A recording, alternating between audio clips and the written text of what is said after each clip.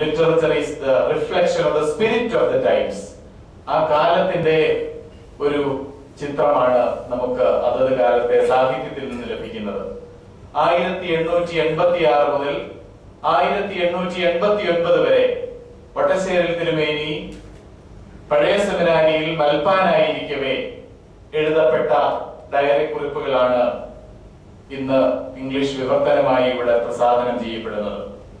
ഒന്നേകാല നൂറ്റാണ്ടുകളോളം മുമ്പ് അന്നുണ്ടായിരുന്ന സാമൂഹ്യ സാംസ്കാരിക സാഹചര്യങ്ങളൊക്കെ നമുക്ക് ഒന്ന് മനസ്സിലാക്കാനായിട്ട് ഈ ഡയറി ഉപയുക്തമാവുന്നു എന്നുള്ളതാണ് അതിന്റെ ചരിത്രപരമായ പ്രാധാന്യം. വട്ടശ്ശേരി കുടുംബത്തിൽപ്പെട്ട എറണാകുളത്ത് താമസിക്കുന്ന ശ്രീ എം കെ ഫിലിപ്പ്. അദ്ദേഹത്തിന്റെ സ്വകാര്യ ശേഖരത്തിൽ നിന്ന് അഭിമന്യനായ ഐറേനിയസ് എനിക്ക് നൽകിയതാണ് ഈ ഡയറി കുറിപ്പുകൾ. ഈ ഡയറി കുറിപ്പുകളെ പറ്റി ഒരു ആമുഖ പഠനം നിർവഹിച്ച് ആദ്യം മലയാളത്തിലും പിന്നീട് ഇംഗ്ലീഷിലുമായി നമ്മുടെ മുമ്പിൽ ഈ കൃതി ഇപ്പോൾ ലഭ്യമാവുകയാണ്. പല കാലിക കാര്യങ്ങളെ പറ്റിയും ഡയറി കുറിപ്പുകളിൽ നിന്ന് നമുക്ക് പഠിക്കുവാനായിട്ട് സാധിക്കും. അന്നത്തെ ഗതാഗത സൗകര്യങ്ങൾ വളരെ പരിമിതമായിരുന്നു എന്ന് നമുക്കറിയാം. ജലഗതാഗതത്തെ പറ്റി ധാരാളം നമ്മൾ പരിചയപ്പെടുന്നു ഈ ഡയറി കുറിപ്പുകളിലൂടെ. അന്ന് ഇന്നത്തെ പോലെ ഗതാഗത മാർഗങ്ങളൊന്നുമില്ല. പരുമലയിൽ നിന്ന് പുറപ്പെട്ട പഴയ സെമിനാരിയിൽ എത്തുന്നതൊക്കെ എത്ര സമയം എടുത്താണ് എന്ന് വായിക്കുമ്പോൾ നമ്മൾ മനസ്സിലാക്കുന്നു. പക്ഷേ ഇതുപോലുള്ള യാത്രകൾ പ്രാർത്ഥനയ്ക്കും മനനത്തിനുമായി വട്ടശ്ശേരിൽ തിരുമേനി ഏറെ പ്രയോജനപ്പെടുത്തിയിരുന്നുള്ളൂ പ്രയോജനപ്പെടുത്തിയിരുന്നു എന്നുള്ളതും നമുക്ക് നല്ലൊരു അറിവായി പകർന്നു കിട്ടുന്നു. രാജഭരണ കാല കാലഘട്ടം. ബ്രിട്ടീഷ് മേൽക്കോയ്മ സി എം എസ് മിഷണറിമാരുടെ വരവ് അവരുടെ പഠിപ്പിക്കലുകൾ അന്നത്തെ കറൻസി നാട്ടുനടപ്പുകൾ ആചാരമര്യാദകൾ ഇങ്ങനെയുള്ള എല്ലാ കാര്യങ്ങളെ പറ്റിയുമുള്ള സമഗ്രമായ ഒരു ചിത്രം ഈ ഡയറി കുറിപ്പുകളിൽ നിന്ന് നമുക്ക് ലഭിക്കുന്നുണ്ട്. ആത്മകഥ പലപ്പോഴും അസത്യങ്ങളുടെയും അർത്ഥസത്യങ്ങളുടെയും കൂമ്പാരം ആകാറുണ്ട്.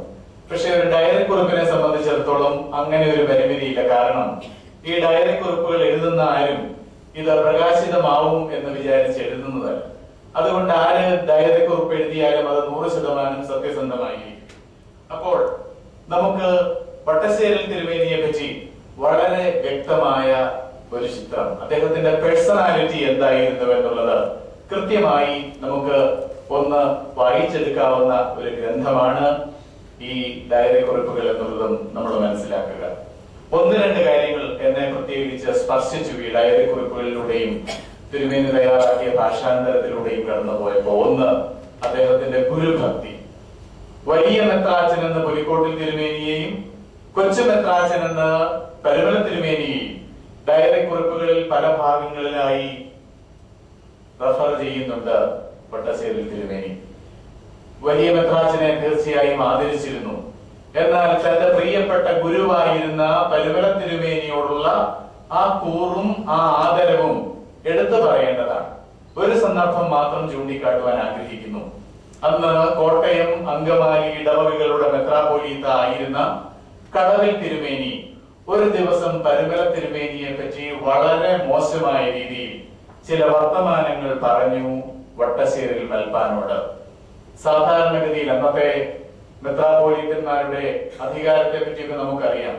സാധാരണ ഒരു മെത്രാപോലീത്ത മറ്റൊരു മെത്രാപോലീത്തയെ പറ്റി അല്പം കടന്ന ചില പ്രയോഗങ്ങൾ നടത്തിയാൽ പോലും ഒരു വാ ഉരിയാടാതെ കേട്ടോണ്ട് നിൽക്കുക മടങ്ങുക എന്നുള്ളതാണ് ഒരു വൈദികനിൽ നമ്മൾ സ്വാഭാവികമായി അന്നത്തെ കാലത്ത് പ്രതീക്ഷിക്കുക. പക്ഷേ പരമല തന്റെ ഗുരുവാണ്. ആ ഗുരുവിനെ അപകീർത്തിപ്പെടുത്തി സംസാരിച്ചത് മറ്റൊരു മെത്രാപോലീത്ത ആയിരുന്നെങ്കിൽ പോലും അത് ക്ഷമിക്കുവാനോ ഉൾക്കൊള്ളാനോ വട്ടശ്ശേരിൽ മൽപ്പാനച്ചൻ തയ്യാറായിരുന്നില്ല. തീവ്രമായിയാണ് അദ്ദേഹം പ്രതികരിച്ചത്. അദ്ദേഹം പറഞ്ഞു ആരുമായിക്കൊള്ളട്ടെ കൊച്ചു തിരുമേനിയെ പറ്റി ഇങ്ങനെയുള്ളൊരു വാക്ക് എന്നോട് പറയാൻ മുതിരരുത് എന്ന് മുഖം നോക്കാതെ എടുത്തടിച്ചു പറഞ്ഞ് അന്ന് രാത്രിയിൽ തന്നെ കടവിൽ മെത്രാച്ചൻ വന്ന ക്ഷമായാചനം അദ്ദേഹത്തിന്റെ മുമ്പിൽ വന്ന് ചെയ്യത്തക്ക രീതിയിൽ കാര്യങ്ങൾ കൊണ്ടെത്തിച്ചത് വായിക്കുമ്പോ എന്തായിരുന്നു അദ്ദേഹത്തിന്റെ ഗുരുഭക്തി എന്നുള്ളത് മനസ്സിലാക്കുന്നു. രണ്ടാമതായി അദ്ദേഹത്തിന്റെ പ്രാർത്ഥനാ ജീവിതം.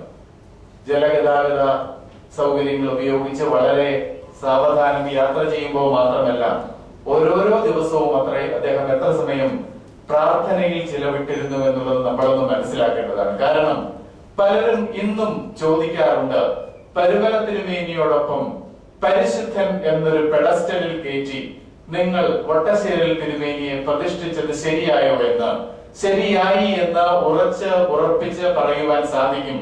അദ്ദേഹത്തിന്റെ ഡയറി കുറിപ്പുകൾ വായിക്കുന്നവർക്ക്. കാരണം ഒരു പ്രാർത്ഥനാ മനുഷ്യൻ എന്നുള്ള ഒരു രീതിയിൽ അദ്ദേഹത്തിന്റെ ജീവിത വിശുദ്ധിയെ അടുത്തറിയാൻ നമുക്ക് അവസരം ലഭിക്കുന്നു ഈ ഡയറി കുറിപ്പുകളിലൂടെ. ഓരോ ദിവസത്തെയും ഡയറി കുറിപ്പുകൾ അവസാനിപ്പിക്കുന്നത് പ്രാർത്ഥനയോടുകൂടിയാണ് പലപ്പോഴും സുറിയാനി പ്രാർത്ഥനയായിരിക്കും ചിലപ്പോൾ മലയാളത്തിൽ അങ്ങനെ പ്രാർത്ഥനകളോടുകൂടിയാണ് അതത് ദിവസത്തെ ഡയറി കുറിപ്പുകൾ അവസാനിപ്പിക്കുന്നത് എന്ന് പോലും മനസ്സിലാക്കുമ്പോൾ എന്തായിരുന്നു അദ്ദേഹത്തിന്റെ പ്രാർത്ഥനാ ജീവിതത്തിന്റെ ആഴം എന്ന് തിരിച്ചറിയുവാൻ നമുക്ക് മനസ്സിലാകും നമുക്ക് സാധിക്കും. ഞാൻ അവസാനിപ്പിക്കട്ടെ.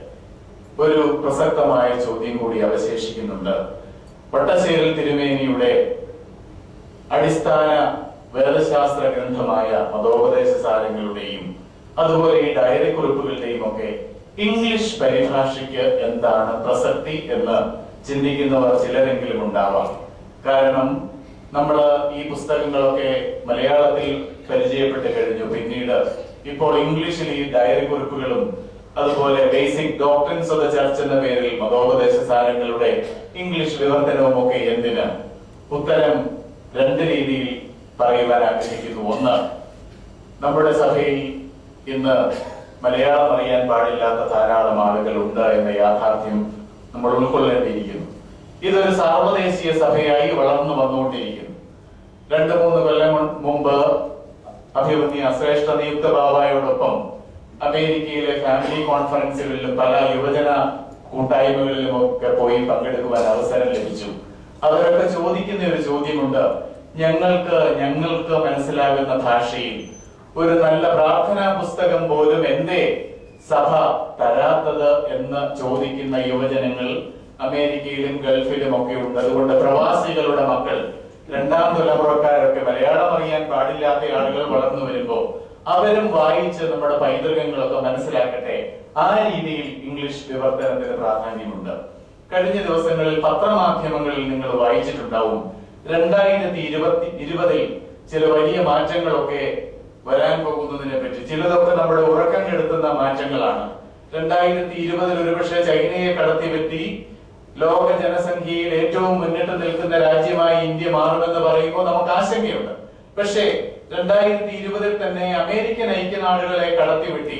ലോകത്ത് ഏറ്റവും കൂടുതൽ ആളുകൾ ഇംഗ്ലീഷ് സംസാരിക്കുന്ന രാഷ്ട്രമായി ഇന്ത്യ പരിണമിക്കുമെന്ന് വായിച്ചു കേട്ടപ്പോ വളരെ പ്രതീക്ഷയും സന്തോഷവും തോന്നി.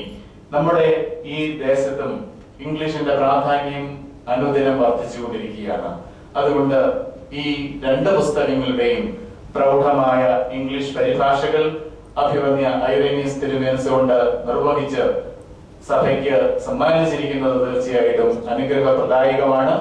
ആ രീതിയിൽ ഈ ഡയറിക്ക് വലിയ പ്രാധാന്യം ഇനി വരുന്ന ആളുകളിലുണ്ട് അതുകൊണ്ട് ഈ രണ്ട് ഗ്രന്ഥങ്ങളും നമുക്ക് സഭയ്ക്ക് സഭാമക്കൾക്ക് ഏറെ പ്രയോജനം നൽകട്ടെ എന്ന ആശംസയോടെ എന്റെ വാക്കുകൾ ഉപസംഹരിക്കും കേരളത്തിലെ സാംസ്കാരിക ചരിത്രത്തിൽ ഡോക്ടർ കെ എസ് രാധാകൃഷ്ണന് ശ്രദ്ധേയമായ സ്ഥാനമാണുള്ളത്. കാലടി സർവകലാശാലയുടെ മുൻ വൈസ് മുൻ വൈസ് ചാൻസലർ പ്രഭാഷകനും ഗ്രന്ഥകാരനും സാമൂഹ്യ ചിന്തകനും പ്രവർത്തകനുമായ ഡോക്ടർ കെ എസ് രാധാകൃഷ്ണൻ സാറിനെ മുഖ്യപ്രഭാഷണത്തിനായി വിനയപൂർവം ക്ഷണിക്കുന്നു. നിയുക്ത കത്തോലിക്ക